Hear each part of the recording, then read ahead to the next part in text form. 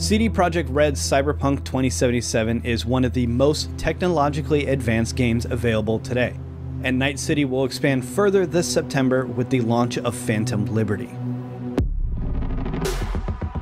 GeForce gamers will be able to immerse themselves in the beauty of Phantom Liberty and explore a new dangerous district, Dogtown, powered by RTX technologies.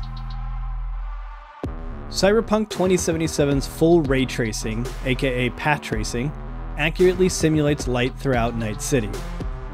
This includes shadows, which look softer in a more realistic way, reflections, which incorporate bounce detail, further heightening immersion, and global illumination, which produces lifelike diffused lighting across various surfaces in every scene.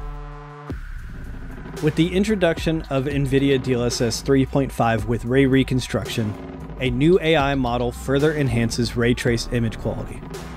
Lighting effects are now more accurate. Global illumination is higher quality with realistic indirect lighting.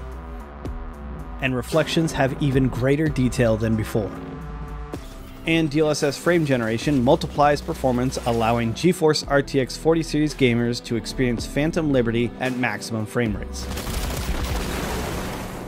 Altogether, full ray tracing with DLSS ray reconstruction and DLSS frame generation, powered by the latest GeForce RTX 40 series GPUs, provide the ultimate Cyberpunk 2077 Phantom Liberty PC experience.